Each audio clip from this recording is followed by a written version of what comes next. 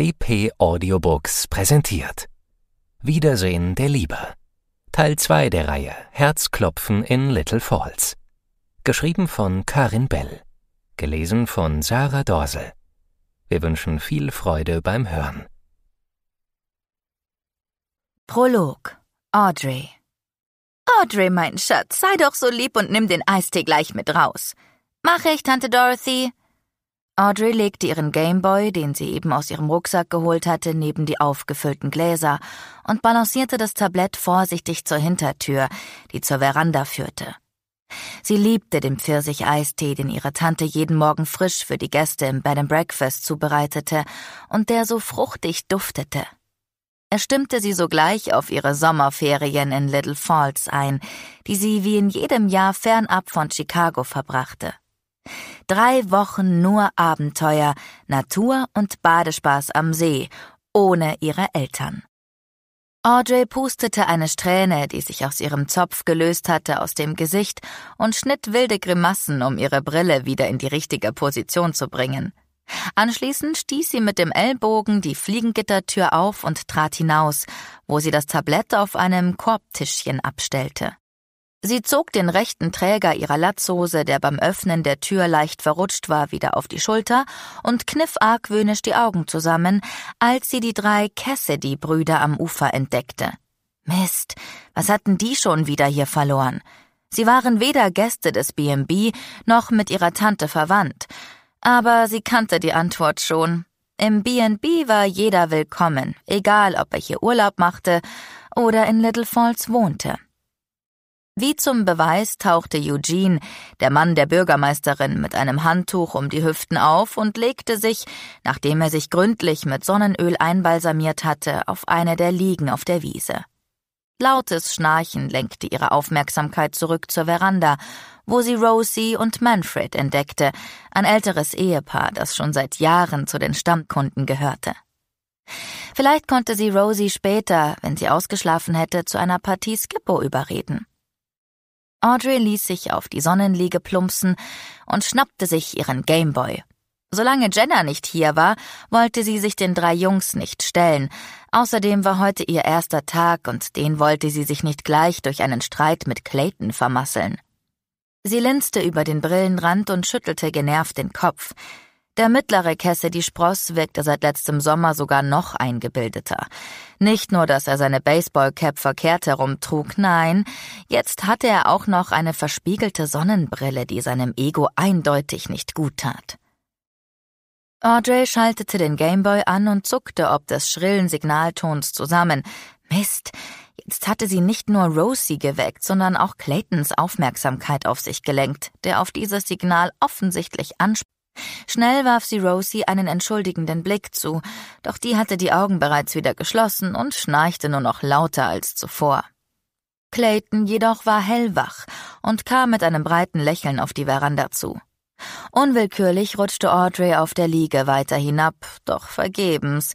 Er hatte sie hinter den Sprossen des Geländers und einem Handtuch, das darüber hing, bereits entdeckt. Audrey, seit wann bist du wieder in Little Falls? Fragte er überrascht, die Hand lässig am Pfosten des Verandadachs abgestützt. Mit der anderen Hand wischte er sich die Sonnenbrille aus dem Gesicht, wo sie auf dem Cappy zum Liegen kam. Dabei entging ihr nicht, wie seine Augen unschlüssig erst ihren Gameboy und dann den eisgekühlten Pfirsichtee fokussierten. Hi Clayton, ich bin gestern Nachmittag angekommen.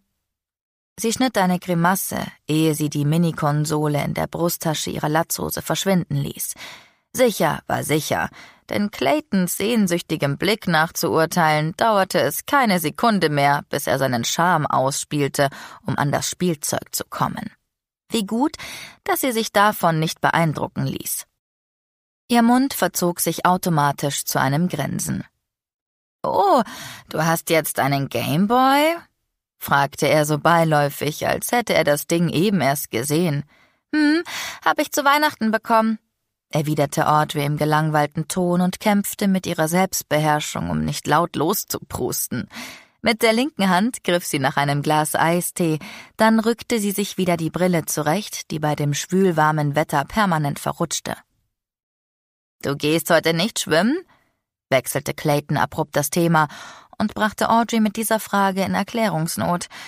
Aber sie konnte ihm ja schlecht berichten, dass sie gerade zum zweiten Mal in ihrem Leben Besuch von Tante Rosa hatte und aus eben diesem Grund lieber auf der Veranda saß, als auf der Luftmatratze, die sich Cole heute von ihrem Onkel Dean ausgeliehen hatte. Hoffentlich war es schnell vorbei, nicht auszudenken, wenn sie ganze drei Wochen nicht schwimmen konnte.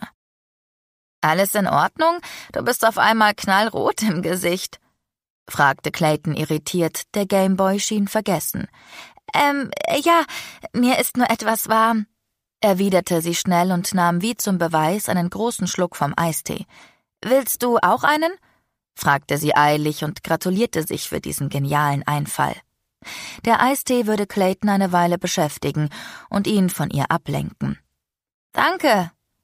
Clayton schnappte sich schnell ein Glas, als hätte er nur auf ihre Aufforderung gewartet, und ließ sich auf dem Korbsessel neben ihr nieder. Na super, das war eigentlich nicht Absicht gewesen. Warum verkrümelte er sich nicht wieder zu seinen Brüdern und ließ sie in Ruhe auf Jenna warten?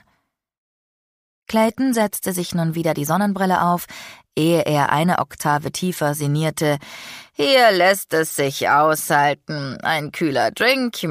Er verzog den Mund, als hätte er eben einen großen Deal abgeschlossen und prostete dann Manfred zu, der zwischenzeitlich im B&B verschwunden war und nun mit einem Bier nach draußen kam.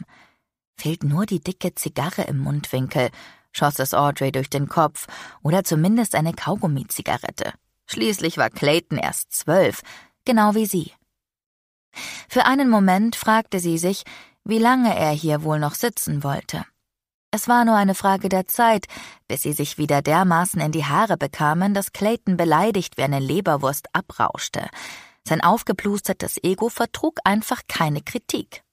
Außerdem verwirrte sie allein schon die Tatsache, dass er mit ihr auf der Veranda saß, als wären sie beste Freunde. Hatte er sich womöglich doch geändert? Ehe sie weiter grübeln konnte, wurde hinter ihr die Tür aufgestoßen und Jenna kam mit einem Freudenschrei auf sie zu. Audrey, Audrey, Audrey, du bist endlich wieder in Little Falls.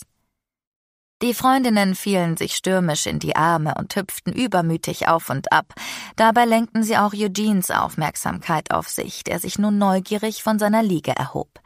Beim Anblick seiner Retro-Shorts mit Paisley-Muster und den weißen hochgezogenen Tennissocken, die er immer noch trug, verschlug es sogar ihr für einen Moment die Sprache. Dann zischte sie Jenna übermütig zu. Kein Wunder, dass er so weiße Storchenbeine hat. Jenna hielt sich vor Lachen den Bauch und winkte Eugene kurz zu, der daraufhin freudig die Hand hob. Oh, Clayton, hab dich gar nicht gesehen begrüßte sie den Jungen, der immer noch auf der Veranda saß. Anschließend schenkte sie Audrey einen fragenden Blick, den diese mit einem Augenrollen quittierte. Am besten gehen wir rein, da können wir uns in Ruhe unterhalten, schlug Audrey vor und bemerkte, wie Claytons Hoffnung auf eine Runde Zocken schwand. Er konnte einem geradezu leid tun, wie er da mit seinem traurigen Dackelblick saß. Sie zögerte nur einen kurzen Moment, ehe sie den Gameboy aus ihrer Brusttasche zog und ihn Clayton reichte. Wehe, du machst ihn mir kaputt, dann gnade dir Gott. Äh, nein, stotterte der sonst so coole Junge und wirkte mit seinem aufrichtigen Lächeln auf einmal sehr sympathisch. Bevor sie es sich anders überlegen konnte, hakte sie sich bei Jenna unter und betrat mit ihr das B&B. Das war sehr lieb von dir, mein Schatz, Dorothy, die ihre Augen und Ohren wohl überall hatte, kam den Mädchen entgegen und schenkte ihrer Nichte ein stolzes Lächeln. Audrey verzog verlegen den Mund, sie war schließlich kein Unmensch. Außerdem wusste sie, dass ihre Tante die Cassidy-Brüder liebte, als gehörten sie zur Familie. Ich will ja nicht schon am ersten Tag einen Streit anzetteln, erwiderte sie mit einem frechen Zwinkern. Und wie heißt es so schön, die Klügere gibt nach. 1. Clayton 13 Jahre später Clayton trat aus dem Haus ins Freie und bewunderte sein Werk voller Stolz. Es gab für ihn nichts Schöneres, als mit den eigenen Händen etwas Altes wieder in ein Schmuckstück zu verwandeln.